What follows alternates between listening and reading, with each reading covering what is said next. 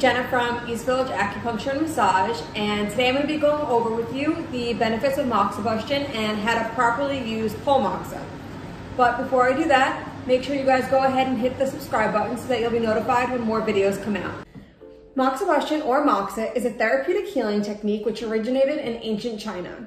The practice involves burning medicinal herbs over specific acupuncture points or areas of pain in order to warm and heal specific conditions.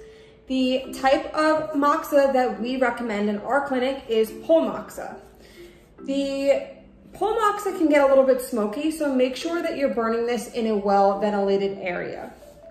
So the things that you're going to need are moxa stick, which usually go for about a dollar or two when sold separately, a lighter, and some foil. Before I go over with you how to properly do moxibustion, I'm just gonna be going over the point that we're gonna be using to do the moxibustion on. The point's called stomach 36 and it's located three fingers below the lateral side of the patella. Once you place your three fingers, you'll go over to the lateral side of the patella and bring your finger down to where the ring finger was. You'll slip into a little bit of a depression and the point will also be a little bit tender, which is how you'll know that that's the correct point. It's said that daily use of moxibustion on stomach 36 helps to increase one's vitality and longevity. Some of the point's actions and indications are known to help stimulate the immune system, enhance digestion, regulate qi, and disperse stagnation. Before we get the moxa lit, we're gonna be making an extinguisher out of aluminum foil. So first, get a square piece of foil and fold it in half and continuously fold it in half until you make a small square. Next, start folding up these sides. The first side. Continue folding them up all the way around. Try to make them a little bit high because you want it so that the moxa fits in there and will actually put out the fire. So you're kind of making just like a little cup for the, for the moxa. You can keep putting your moxa pole in and forming it around just to make sure it's at the proper width. Doesn't have to be anything special. Again, we're just making sure we have somewhere to put the fire out when we're done using the moxa. Mine came out a little bit like this. Deep enough so that an inch of the moxa is there, sturdy. And the next thing we're going to do is push up the moxa about an inch of the moxa showing and the paper is down. We'll be lighting the moxa. Okay. Lighting the moxa's tip.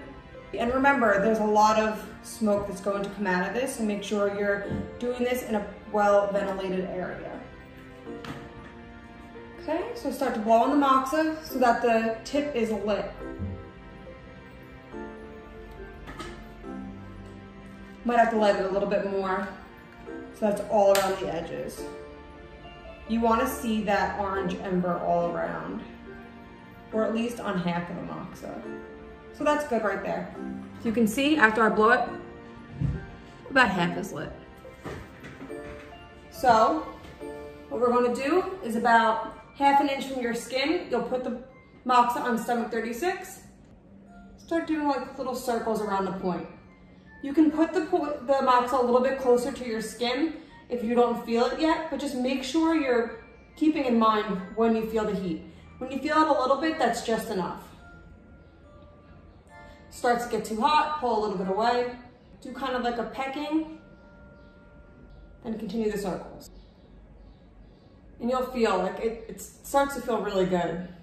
So you wanna do this for a minute on each side. When putting out your moxa, Place the tip of the moxa into the extinguisher for about a minute or two until you see the smoke stop coming out. Take it out to check on it, and then just keep leaving it to extinguish it. You can also put sand in a little cup or mason jar and extinguish out the whole moxa that way.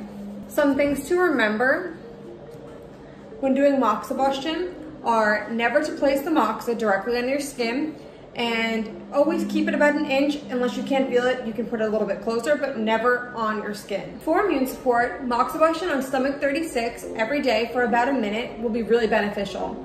Moxa can also help with other conditions, but it does depend on the condition, on which points you should use, and for the length of time to do the Moxa.